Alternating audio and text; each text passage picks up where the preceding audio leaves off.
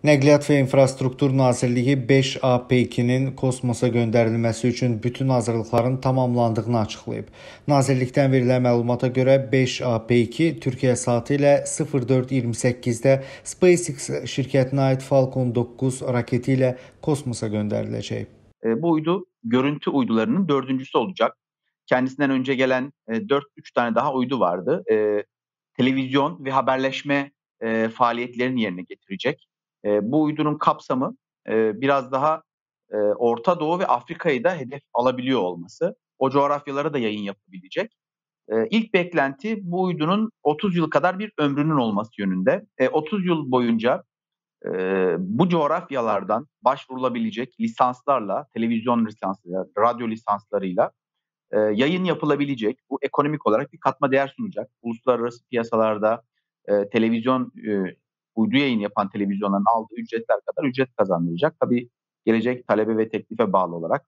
Yine haberleşme bağlamında katkısı olacak ve aynı zamanda istihbarat e, bağlamında da katkısı olacak. Türkiye'nin uydu varlığının artması sadece bu alanlarda değil, e, yani askeri, istihbarat, haberleşme alanlarında değil, ekonomi alanında da farklı e, zeminlere genişme genişleme imkanı sağlıyor. Bu bağlamda mesela Türkiye'de çok yakın bir e, gündemde e, zamanda gündeme gelecek e, tarım alanı ile ilgili bir gelişme var.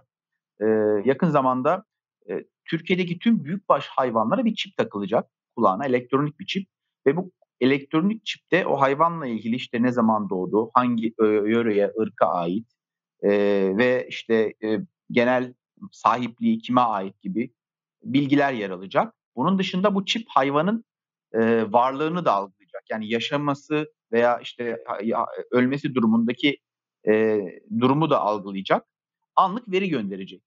Şu an e, işte girdiğiniz zaman sisteme kaç tane canlı hayvan var, hangi bölgede ne kadar var, e, ne zaman doğdu, işte ne zaman kesime gitmesi planlanıyor gibi tüm veriler bu çiplerde bulunacak.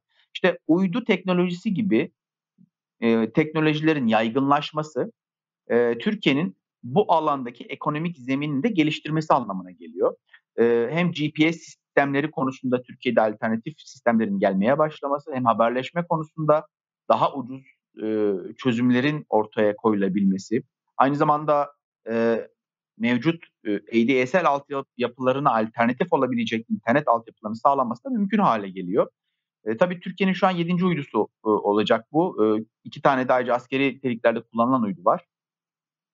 E, bu bağlamda e, uydunun ekonomik olarak birçok alana kapı açması daha bekleniyor.